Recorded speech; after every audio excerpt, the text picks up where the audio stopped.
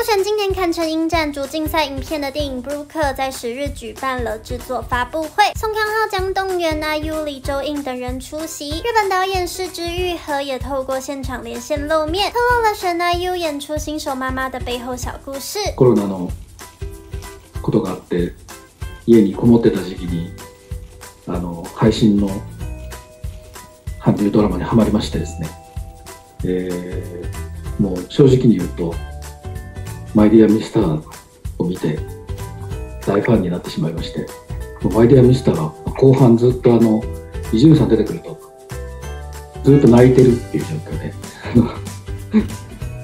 えー、もうこの人しかいないということでオファーをしました。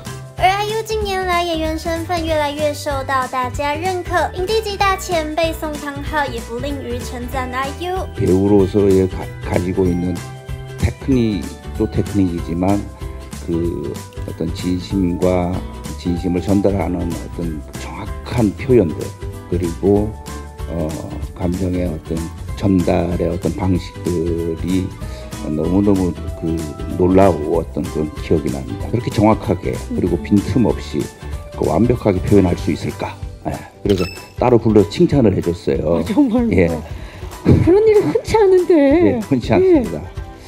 강동원 씨는 칭찬을 받은 적이 없어요. 네, 예.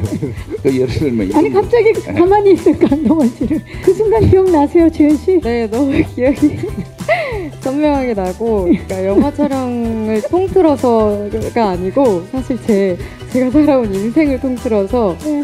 굉장히 인상적이었던 순간으로 남을 것 같아요. 석양이 막 지고 있었고 어, 그것까지 떠올라. 그죠? 예. 선배님께서는 원래 이제 촬영이 미리 끝나셔서 퇴근을 하셔도 되는 상황이셨는데 기다리고 계셨던 거예요. 그래서 오. 제가 저 제가 촬영이 제일 늦게 끝난 날이었거든요. 네.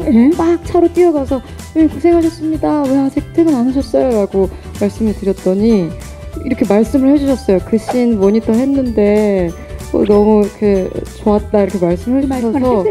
그러고는 이제 차 멀리 이렇게 멀어져 가시는데 너무 그 장면이 아름답고 뭔가 감동적이어 영화의 한 장면처럼 장면처럼 그래서 눈물이 이렇게 고였었던 기억이 있어요. 네. 마지막 장면까지 완벽하네. 눈물이 네, 한 방울 눈물까지. 딱 고였던. 네, 그래서 저희 부모님한테도 제가 막 자랑을 했던 그런 순간이었어요. 아, 큰일 났네요, 송강호 씨. 이제 송강호 씨랑 같이 촬영하는 분들이 다 가셨는지 안 가셨는지만 보고 있겠어요, 끝나고.期待在台湾也能看到这部作品啊！